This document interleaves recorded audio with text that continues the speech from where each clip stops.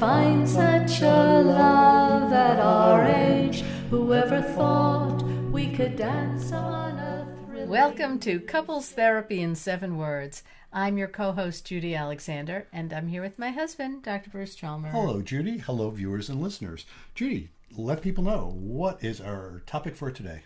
Simple sex education and connecting with your erotic self. An interview with Sarah Watson. We just finished that interview. Uh, really fun person to talk Mm-hmm. Very to. and- dynamic and, and really knowledgeable and fun stuff about you know how do you talk to kids Right. about sex Yeah. Uh-huh. uh, that came up as part of it and she she's uh, had a bunch of stuff I'll, I'll throw in something else this may be a little teaser for some people too uh, she also happens to be involved in a podcast about people it, it originated for people who have bleeding disorders Right. and especially about menstruation and bleeding disorders. And then she said they broadened it to include all sorts of issues having to do with menstruation. So she had a lot to say about that as well. So uh, listen up. listen up, indeed. Let's put in uh, some plugs for our our favorite stuff. Okay. Okay, what do we start with today? Well, why don't we start about with uh, it's not about communication. Why everything you know about couples therapy is wrong. Folks, if you have any interest in using couples therapy, uh, you know, as a consumer yourself, uh, if you're a therapist yourself, you'll certainly have interest in that. And just the general topic of how does this business work? Uh, and, you know, some provocative stuff about, yeah, what really doesn't work. I recommend that book highly. Uh, and lots of people have told me that's what they get out of that one. And then we have Reigniting the spark. Uh, why stable relationships lose intimacy and how to get it back. And that's a book for you if you're in a relationship and maybe it's hurting and you want it- ways of feeling better. That will help you. If you're in a relationship that's good, but you want to make it even better, that will help you. If you're just interested in that stuff, that will. Absolutely. So go for that. And I do want to mention before we get to our sponsor, I want to mention the book that I'm working on now, Mm-hmm. Which is the working title. It looks like it's going to end up being the title, I think. Okay. Is Betrayal, Forgiveness, and Faith. So it's a lot about betrayal and how you recover from betrayal, how you heal, how you heal and are even better off for having gone through it, which is a tall order to people who've just been betrayed, I'll tell you, to feel that way. But uh, I have a feeling from what lots of people have told me, it's going to be quite popular because there's a lot of folks who, when they're reeling from a betrayal, Yeah. are looking for something that will help them, and that's the book that I'm writing.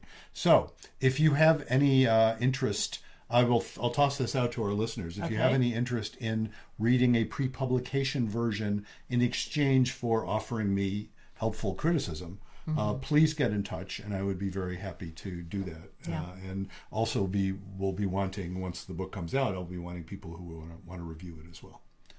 So let's put in a word for our sponsor. Okay, well, connecting with your erotic self. There we are. Here we are, The Blue Tent Erotic Tales from the Bible. By So, by Laria Zylber. by Laria Zylber, who I have to confess to you, Judy, yeah. I have a serious crush on. Oh, well, if you're going to have a crush on anybody, Laria is the one. Yes. Now you might, for the sake of letting people know, you might mention Mm. another little factoid about Laria that might be relevant to my comment. I'm Laria. There we are. Yes. so as I said in our last podcast, this is my only, the only um, closest I've, I've ever come to polyamory is having my relationship with both you and Laria, uh which I just find very exciting. So, so there it is. Uh-huh. There you go. Yes, indeed. So do do check that out. You can get that the Blue Tent in any of your favorite formats, including the audiobook, which Judy did the, and I think we credited it as as you. I think It's, so. it's Yes, Laria. Laria wrote the book, but Judy did the uh, the did the narration. audio, And you do your audio for and I your audio for mine as well. And uh, And we've been told we have lovely voices. we have been told that. That is true. So let us get on with our interview, and we'll see you on the other side. Our guest today is Sarah Watson. Sarah is a licensed professional counselor and certified sex therapist. In her therapy practice, she helps her clients unpack their ideas about sex, self, and relationships and reconnect with their erotic selves. Sarah is also the founder of Simple Sex Education, where she helps parents have age appropriate conversations about sex with their children. When she's not helping women tune into their erotic selves or helping parents talk to their children about sex, Sarah spends time with her family in northern Michigan. Sarah, welcome to Couples Therapy in Seven Words. Thank you so much for having me. I'm happy to be here. Our pleasure. We are delighted to have you. So, we always like to start off with our guests by asking, tell us how you got into the work you do. Tell us something about your own journey. Yeah, it's uh it's always the it's a great question, right? Like how did how did a therapist become a therapist? I come I come from a long line of educators. Oh. Um so Yeah, my so aunt- do we, by the way. Yeah. Okay. All right. See, again, where Yeah. there it goes, right? Um, both of my parents were educators at a point. My aunt and uncle were educators. Um, and my aunt was a therapist. And so kind of saw her go through the um, process of going from education into school counseling and being like, oh, that's really interesting. And I also come from a grandmother with severe mental health issues. And we were always talking about therapy. It was just something that happened in my childhood um, in the 80s. I'm 40, I'm going to be 42 this year. And it was just something that my parents openly talked about that my grandmother was in therapy. And one day she said to me, You know, you really, you really should do art therapy. And I was like, Oh, what's that, Grams? Like, what's what does that even mean? She's like, Oh, well, I did it. And she would explain to me like what she experienced. And so my background for therapy, my specialization is actually um, started with art therapy. So I started there. And then, yeah, which was amazing. So it was, you know, I was impressed upon me that therapy is helpful. I could see a shift with my grandmother at times. Um, she had a dissociative identity disorder. So it, it Oh, was, wow. yeah. So it was a really interesting childhood to see, but therapy was always something open. And we knew that Graham went to therapy and art therapy was helpful. And then my aunt was a therapist and the educators taking care of, you know, uh, kids Mm. and how special that was. So that was kind of the the road that led me there. And then I got fired from an art therapy job. to be really frank. Um, and and I asked uh, uh, one of my best girlfriends for help, and I knew her mom was a social worker in the area. And she's like, "Oh, my mom wants to have lunch with you. Come over, like come hang out with her, and then we'll we'll go do our own thing." Two hours later, um, not realizing that her mom was the person who started the sexual health program at University of Michigan Oh, uh-huh. and had said, Sarah, if you want to go into practice and you want to work with couples, you really need to, you really need to focus on sexual health. And I was like, oh, yeah, all of this makes sense. Like she was taking all of Uh-huh. these puzzle pieces for me and put them together. Yeah. And so you you expressed an interest in working with couples? I That was- did. Yeah. Mhm. Yeah, I was like, hey, I want to go into private practice. Like I really I'm ready to get back into that. Um I did that before out of graduate school and I was like, I really want to do that. Like art therapy, you can't bill for it here in Michigan. It Mm. wasn't something where I could make a sustainable living. Um Mhm. so she kind of helped me out and changed my life. Perfect. Mhm. Yeah. Well, neat. And what, you know, what what drew you especially to couples therapy? And then, you know, and of course, as you point out, if you're going to do couples therapy, you better learn about sex therapy and sex, you know, topics about sexual health. But I'm curious, you know, how did that happen? I've always been interested in the dynamics of couples. Uh, I come from my parents were divorced when I was 15, so obviously a very tender age watching that happen. Mm. Um, my uh, other extended family members have gone through marriage issues, so I've always been something. I am the oldest in the family, so I am I am listening. I was the little kid under the table listening to all of the things, and have always just known I'm really interested in that. And then it it happened kind of naturally. Our friends would talk to me about their relationship. And Mhm. I'd be like, well, have you thought about this? And what do you think about this? And how, you know, what about him and, and this and that? And it was a natural just curiosity. And um, then just having exposure, a few exposures to it right out of grad school, I mean, like, oh, this is this is fun. Like, Mhm. look, we could talk. You guys can talk. We can figure this out. And it's like a little, it's a fun, it's a fun way to communicate with other people and to help them. Um, so that's really, it was just, I really liked it and was really interested in it. Mhm. And then how did you make the leap from couples therapy to sex therapy? Well, they go hand in hand. So it was, it was the training at Michigan and making sure that uh, immediately um, through supervision, obviously, of course, and doing all of extra trainings and things like that that I was focused on on doing couples. You have to have a certain amount of couples hours to be certified as a sex therapist. And naturally it just happened and then word started to spread um, throughout the community. Thankfully that people were benefiting uh, couples were benefiting from our sessions and mm-hmm. and they just keep coming and we just keep talking about that and sex and i think there's a lot of people who don't talk about sexual health a lot mm. of clinicians do not know how to navigate that with a couple in the room you know um, I, i've i think i've told this little anecdote before but i was at a training a year or two ago Sure. Uh, and it was, uh, you know, it was on Zoom. It was like 150, 200 um, people who are interested in couples therapy because it was a mm-hmm. training about couples therapy. Yes. And the trainer sent out a little poll and asked, well, how many of you ask people about their sex lives, mm-hmm. you know, in the first or second session early on? And I'm sitting there thinking, well, of course, obviously people are going to do that. And it was about 30%, I think. It was yeah. way under half. Yeah. Many, many people were saying, oh, no, I wait till they bring that up. And I'm thinking, seriously? You don't like... wait till they bring up all sorts of other things. And it, it's because the therapists themselves don't know how to talk about sex. Exactly. Exactly. And so I uh, immediately, well, obviously people know they're coming to a sex therapist. Yeah. Right. And I, um, I know everyone has their own format of doing things, but I always do a call before I even book anyone. Mm. Um, hmm. I'm doing that consult call because I want to make sure that I feel comfortable with the issue that they're bringing to the table. Mm-hmm. And I have experience in doing that. Um, and if I don't, or it's outside of my knowledge, I'm like, hey, no, but I will find someone for you that is like, we will, we will refer you out. Um, I always, always do that. And then I talk, we talk about sex immediately. Mm-hmm. Like, what do you do? Oh, that you don't have an orgasm, like you're having trouble orgasming, you're not having any sex painful. Yeah, there's so many, so many mm-hmm. things we mm-hmm. cover right away. So mm-hmm. it's kind of the benefit of being the sex therapist. I can ask about it right away. Well, and they you do and have that's why they come to you. So yeah, exactly, exactly. They know they're going to get that question. Uh huh. yeah. Oh, so we saw in, in your background material, yes. you had mentioned you were raised in a conservative Midwestern family. How did that affect your um, upbringing and your thoughts about sex and how you approach the whole thing. Oh my, I, what a loaded question. Um, but we got it from you. So yeah, fair enough. Fair enough. Yeah. So, yeah, I grew up in a very traditional Christian Baptist household until about the eighth grade. It was very much, we went to church multiple times a week.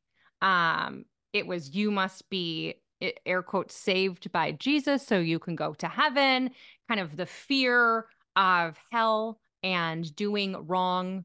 Um, very, very toxic in my mm-hmm. book, very, very mm-hmm. frightening. I think uh, some of my anxiety developed.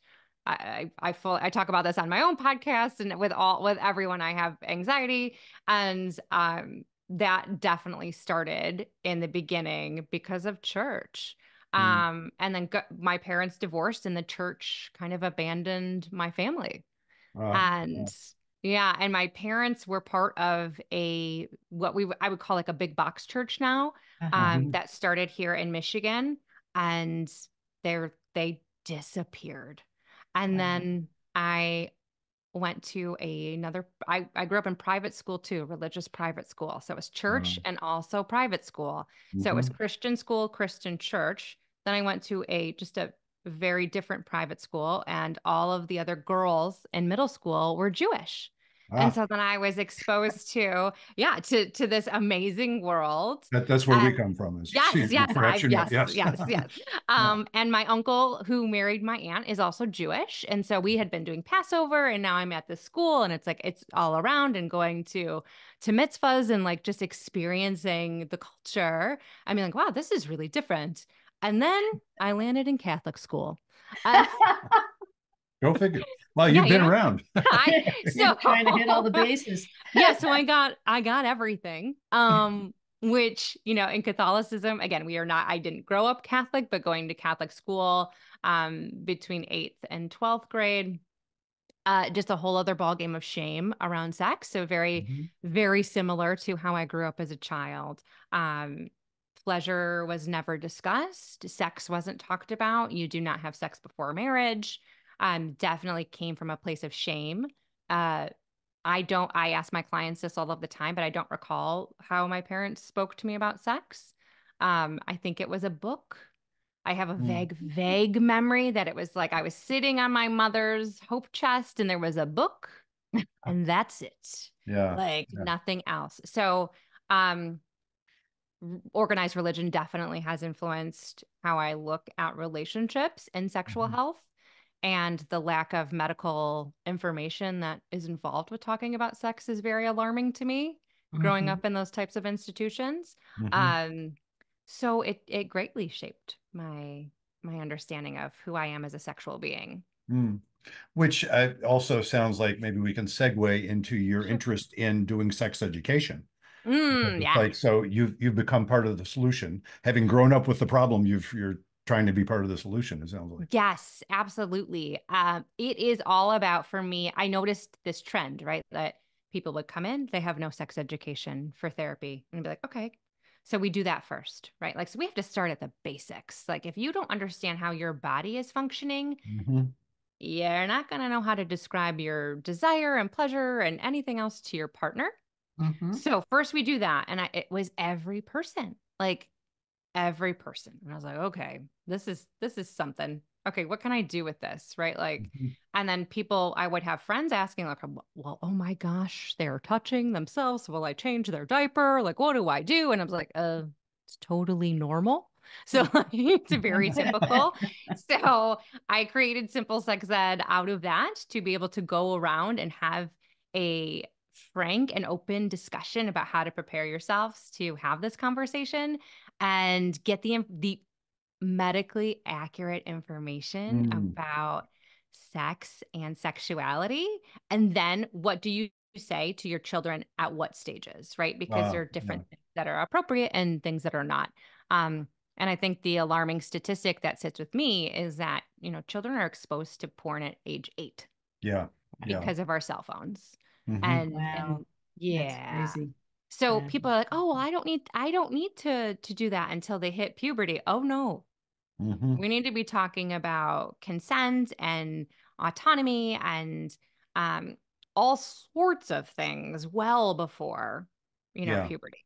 So How, how, how do you start that conversation with kids? Uh, or what do you, or, you know, if you're advising clients, they come to you, they say, I've got this five year old and I uh-huh. noticed he's sitting in front of the TV playing with himself. How do I talk to him about that?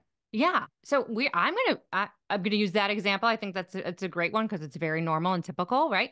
It's to say, hey, bud, like I know that feels really good, and that's amazing because your body is amazing. But that's something just so you know, we do that in private. Like you can do that in the bathroom, you can do that in your bedroom, but we don't do that out and about with other people around. Mhm. That's it.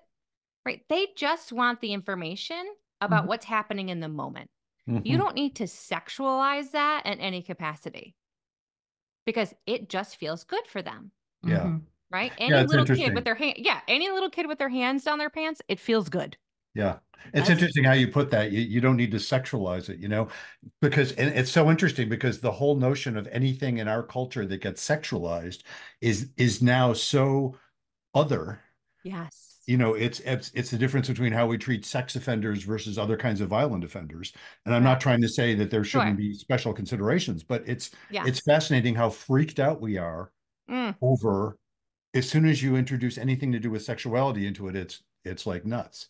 Right. And yeah, particularly with respect to kids, yes. that uh, yeah, it is it we don't know how to deal with it in our culture. No. Right. And I think if you are that person who's never talked about it and you don't have that information about yourself, and then your kid is like pleasuring themselves, and then you're going to be like a deer in headlights going, oh my gosh, don't do that. Don't do that. Don't do that. Yep. And when most people will say, if they were caught pleasuring them, caught, right? Mhm. Yeah. Pleasuring, air quote, quote, like if they were caught pleasuring themselves, then immediately when someone tells you no, when you're doing something like that, shame, Yeah. Mhm. right? And here we're dropping a shame bomb on top of a five year old who's like, but it just feels good, Yeah. right? They're equating that to a back rub, Mhm. right? Or to like a nice hug or snuggling. It just feels good. Yeah. It's not sexual. So I my that is also a really important goal for me is not to inflict shame upon anyone about whoever they are as a sexual being, as long as it's consensual, obviously. You know, I'm, I'm thinking as you're describing this, this is a shameless plug for one of my own books, actually. Yeah, do But it. Great. I, I, I have a chapter in my book, Reigniting the Spark, called um, "Sex, Good Sex, and Sacred Sex." yeah. And sex, would, which is just short for plain old sex, as I call Sure. it. The the stuff you were talking about, I, I mentioned that in the book that that e- for even for plain old sex, you need a very basic understanding of anatomy and physiology. You know Yes. what's where and what does what yes. and and there's so many folks what you're talking about you know so many Yes. folks adults who edu- educated intelligent adults who simply don't know much about their own bodies or their partner's bodies or Correct. what what's even possible it's Right. fascinating i do have to say when when my kids were in middle school and they were bringing we're in vermont they, they have lots of sex education Love although it. there it's it's very mechanical you know yeah they were bringing yeah. home these charts, these diagrams with parts labeled that I'd never heard of. And I was Ah, thinking, sure. it's possibly that I'm so old that those parts hadn't evolved yet.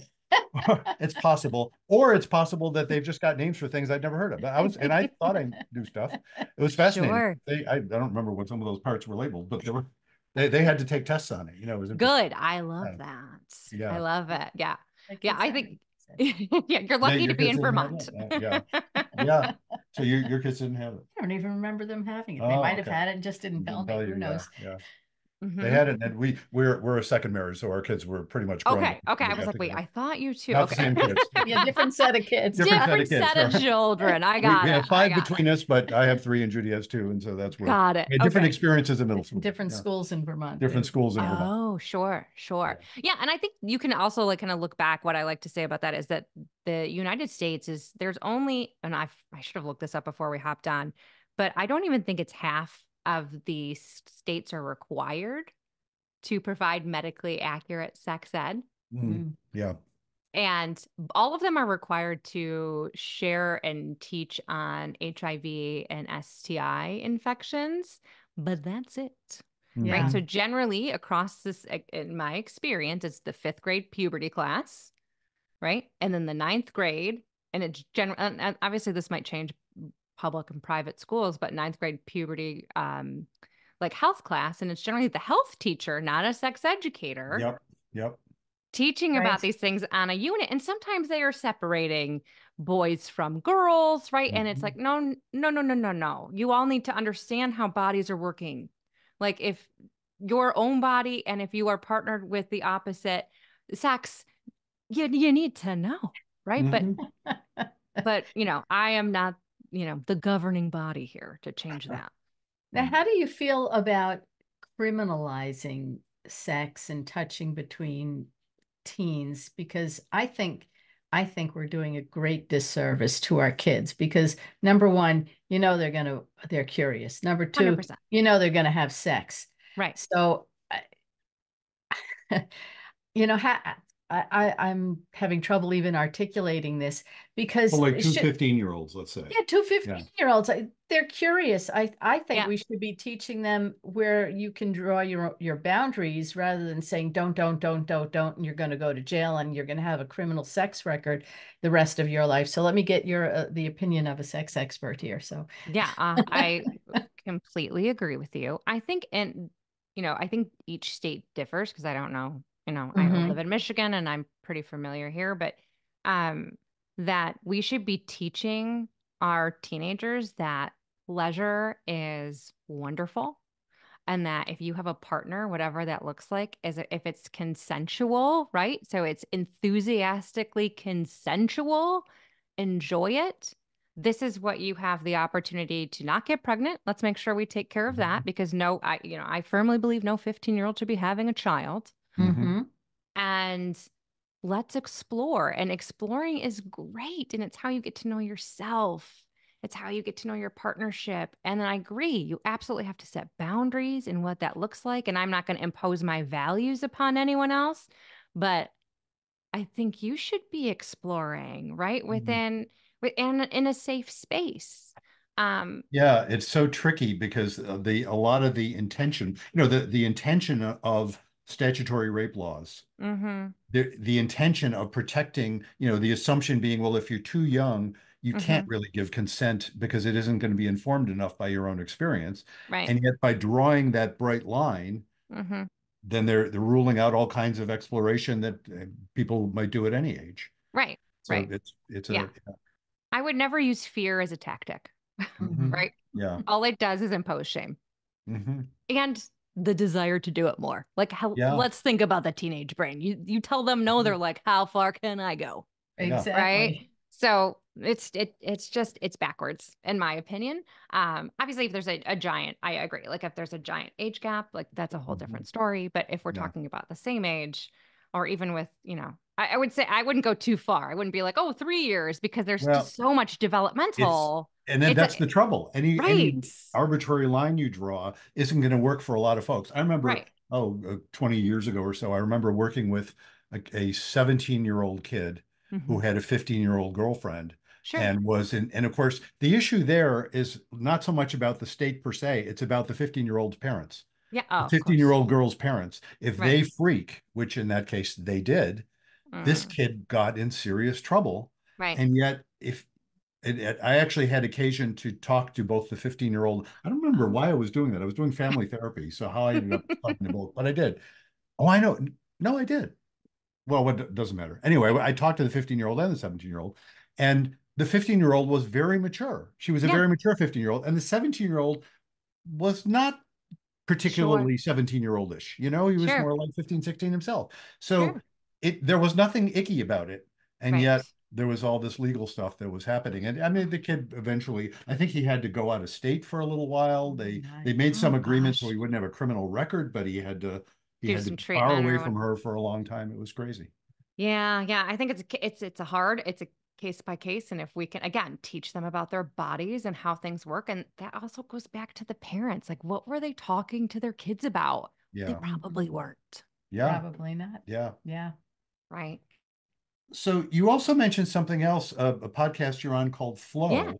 Yeah. And I'm curious about that if you feel like talking about it. Yeah, yeah, sure. So I co-host. This is our third. The the podcast has been around for four years. This will be our third, my third season co-hosting. Um, it is produced by Believe Limited, which is a production studio in LA, and it is owned by a person who has a bleeding disorder, which I also have. I have hemophilia. A. Ah. Yeah. So for those of you who don't know what that is, is I the very simple definition is I don't have the right clotting factor in the clotting cascade to make my blood clot. So I it takes me a very, very, very, very, very long time to clot.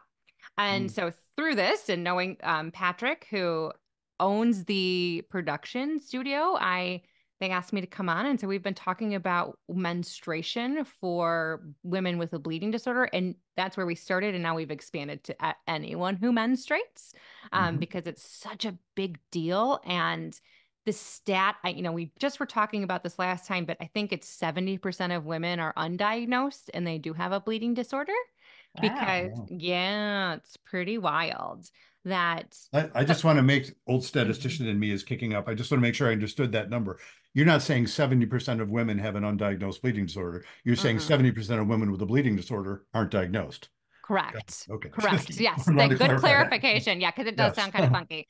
Yeah. Um, but what what can happen is because most bleeding disorders are hereditary, we can look back, like I can look back multiple, multiple generations and know where it came from.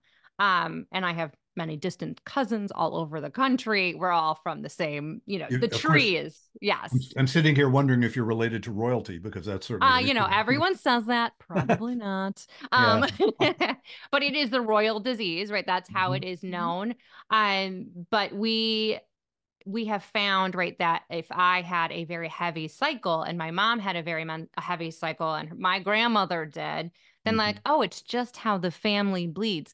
Oh no, no, no, no, no, no. Like it Mhm. means you probably all have an issue with clotting and you just didn't know because Wow. everyone in the family has normalized it. Mhm. And so, yeah, so we get to talk about all sorts of things. We talk about menstrual products. We talk about how to advocate for yourself when you're at the OB-GYN or if you go to see a hematologist. Um, we talk to pelvic floor PTs. We talk to different physicians. We just talk to ourselves about pop culture and, and menstruation. And Um, and obviously, in the last couple years, we've been talking a lot about the legislation on women's bodies and how that impacts uh, our community specifically, because different things are used. Like, I, you know, I have an IUD. I'm very open about this. I have no menstrual cycle, thank God. Ah, wow. wow. It's lovely, Mm. right? And you know, people use birth control for that in our community, and there are other things to do that. But with the legislation going around, we're very, you know, it's very concerning that we don't have Mhm. control over our bodies. Yeah. So we talk Wow. about all sorts of things, menstruation and periods. And clearly, I mean, I would think that fits in also in your educating people about sex more generally. Oh yes. When you're educating, you know, girls, well, girls and boys about their bodies. Yeah, we talk about yeah, Yeah. bodies, we talk Mhm. about sex, we talk about, you know, it's it's a really it's a beautiful platform to talk about everything.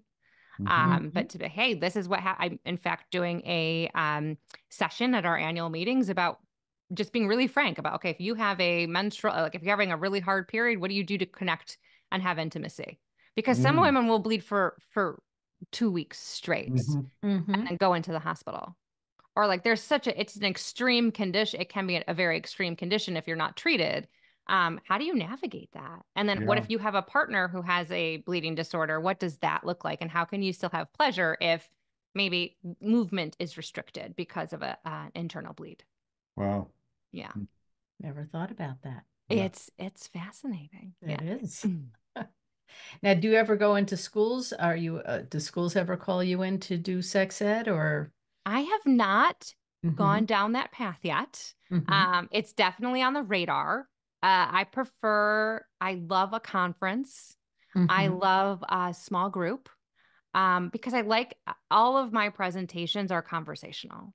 Like Mm. if you can't like and not that I make people talk, right? But like I want like if you have questions, let's talk about it.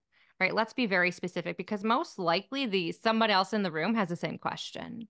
Mhm. Mhm. So that's kind of how I like to work, but um I, I'm open to it and I've been I've been told I should push it a little bit. So it Mhm. it might be coming. And when you work with uh, folks, do you work like with telehealth or do you do that? That's how you do it? I do most of the telehealth, but I actually this week on on Monday am back in the office. Oh, I wow. yeah, we I have a partner and she she's also a sex therapist and we decided that it was time to get back into the office because it's as you know it's very lonely at home. You know, there's no one, you know, across the hall. I mean, my dog is here and my husband's in the basement, but I can't talk to him about at like he's we're very different fields. Um, but we decided it was time and we wanted to have a space where we could also do smaller groups and host Oh, yeah. events. Uh-huh. So I I just went back and it Ah, was wow. yeah, it was like the first day of school. Mhm. Uh, I was nervous. And then I settled in and I was like, this is great. So As I long didn't as you, you you had your trapper keeper with you and right. Yes. I did. I was like, and I brought my lunch and I like yeah. It was- yeah, it's great. So but I do telehealth from the office now. Wow. Yeah. So I will I will always offer that because Mhm. I think, you know, I have people in Michigan, like the uh the upper peninsula. So I have people up there, I have people all over all over the state. So Mhm. Sure. Yeah. What are what are some of the biggest misconceptions people have about sex when you when couples come to you? What what are some of the big things that you hear? Oh, you know, I think from if particularly a a, a woman is coming in that that they believe they're broken. Mhm. Mm. Like, wait, why why don't I want to have sex? I'm broken. Or, you know, they will say very explicit terms of like my, you know, my vagina's broken or or what's going on. And so that is that is something that is often said and it's heartbreaking.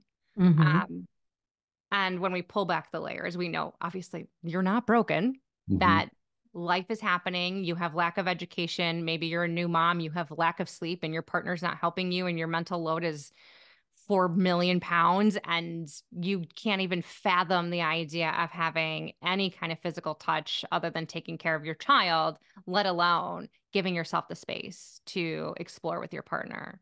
Um, so the the women as broken is is a is a theme.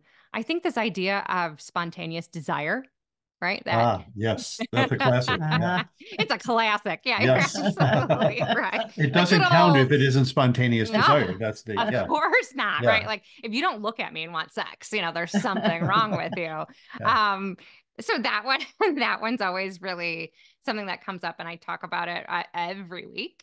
Mhm. Um, and I think you know I have a, a few clients that come in with erectile issues, and this idea that men have been told that it is an issue if you don't have an orgasm right away or if you have trouble maintaining an erection Mhm. um, when there are so many factors, both emotional and physical, that can go into that. Mhm. So I I really love talking about that and helping clients work through and make sure you know go to the go to your physician. Let's make sure everything's cool, like Mhm. everything's good Right. in working order. And now let's figure out what's the mental load for you. What's going on? What do you think about sex? What do you think about yourself? Mhm. Um, so those are some some big ones. I would say those are pretty consistent in my practice. Mhm. Um, I also see just couples for for you know they're trying to navigate having kids, like whether it's fertility issues or you know postnatal issues. So I see a lot of women with pelvic floor issues. So that's always really interesting as well. Well, how can people get in touch with you if they want to, you know, access what you do or learn more about you or maybe have you as a speaker or any of that? Yes, thanks, thanks. So uh, you can reach me at simplesexeducation.com. Mhm. Uh, and I also am pretty active on Instagram, and my handle there is SWSX Therapy. And you can you can find me there. I post pretty frequently there as well. Um, Instagram and Facebook and Meta have a little issue with spelling out sex, so that's Yes, why they it's do. a They- funky we- handle. We've So noted that, yes. Yes, they don't like it. So, Yeah. um, yeah, that's that's where I'm most reachable. I also sarahwatsonlpc.com for if Mm. you're in Michigan, I can I can chat with people there. Great. Okay, wonderful. Well, thanks so much for doing Thank you this. so Oh much. gosh, Thanks for Very having me. It was fun. Oh, good. I'm glad. It was great to chat with you both. Yeah, so long. Welcome back. We hope you enjoyed that interview with Sarah Watson. Uh, I know we did. We did indeed. Yeah, she was We've really had a lot really of fun guests on lately, so We I'm very have. happy. Yeah. Very happy. We've uh, really, yeah, met a lot of interesting people and learned a lot of new Yeah, and we, things. and we have a we have a few lined up uh, Yes, we coming do. in the next few weeks yes, as well. Yes, we do. I will note on that on that uh, in the topic that if you listener uh, would like to be on the show or like to suggest someone to be on the show, please go to our website ctin7 that's the number 7 ctin7.com and drop us a line. You'll see there's a way to send us a message there and uh, suggest yourself suggest someone else suggest a topic. Write us a question. We haven't been doing those for, for a while but if you have a particular question you think it would be neat for us to wrestle with a bit on the air as, as part of this broadcast, possibly with one of our guests, possibly with just us, Yeah. do that. Drop us a line because we always have fun when we uh, are handling those as well. Yep. Um, let what else should we say? Buy our books, Buy our books, buy our merch. buy our merch. Go to our ctin7.com. Yes, Judy's holding up one of our beautiful mugs. You can get those. You can get tote bags. You can get T-shirts. You can get all that stuff. Uh, so please do that. Oh, and subscribe to your newsletter. And yes, do subscribe to my newsletter. Dr. Chalmer's newsletter comes out about once a month, just has a lot of fun stuff in it. Um, among the things that I always put in are the podcast topics that we've done Right. since the last newsletter. Uh, so, yeah, feel free to do that. It's easy to do. You When you go to ctin7.com, a little box shows up and you click on that, and by golly, it'll give you a little sign up form. And so until next time, Remember, be kind don't panic. and have faith.